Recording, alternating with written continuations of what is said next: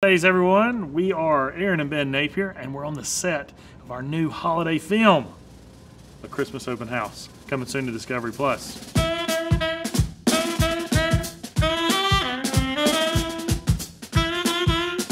We are here in Atlanta, Georgia, and we are shooting a Christmas open house. I play Melissa, and Melissa grew up in Rutledge, Georgia. She moved to Atlanta to make a name for herself. And she comes home, and her mother has decided to sell her childhood home. And so it's very important for her to be able to be a part of selling the house. And along the way, she runs into somebody that she had a crush on in high school and they reconnect and fall in love over the holidays. Thanks, man. Thanks. I'll be okay. Thank you.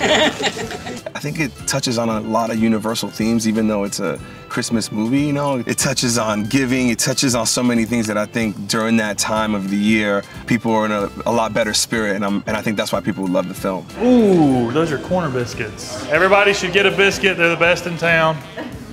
I feel like the thing people are going to take away from this movie is that you don't have to leave your hometown to live the life you want.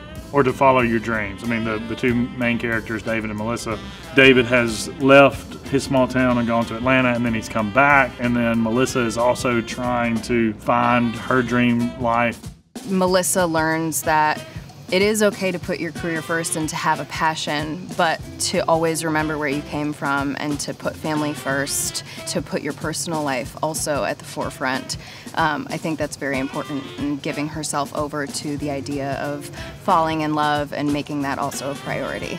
It's got a lot of different emotional elements to it, so you're going to be laughing at parts and you might tear up at other parts, and then obviously it's going to end with you know this heartwarming sort of happy ending that we all sort of attribute to these holiday films. There's a scene in the movie where Erin and I are singing, and Erin is an extremely talented singer. She has a beautiful voice, and I think that I think that fans are going to like that. And but Helen said you have a cute voice. Yeah, Helen says that, "Mommy, you sing beautifully. Daddy, you sing cute." It's uh, I think there's a compliment in there somewhere. Just think about those Victoria's Secret models that have to wear their bikinis in the winter. I'd love to wear a bikini in the winter. I bet you would.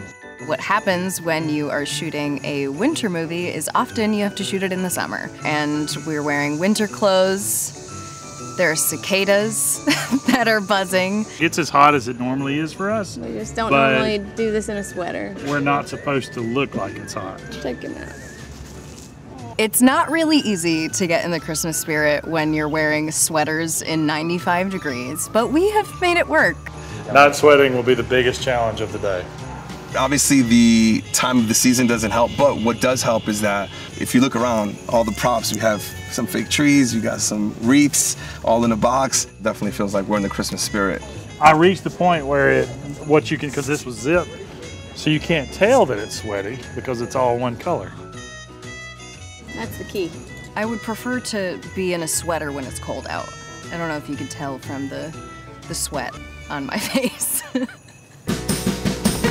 That's a camera wrap.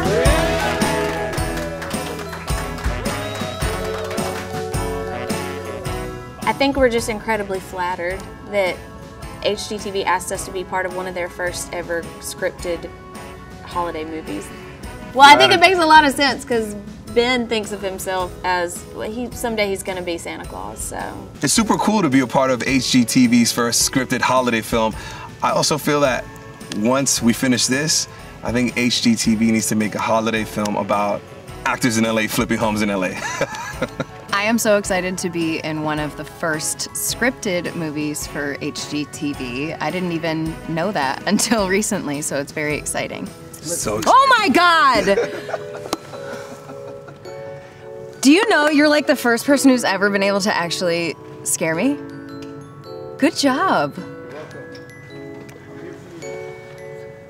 Okay, I'm done.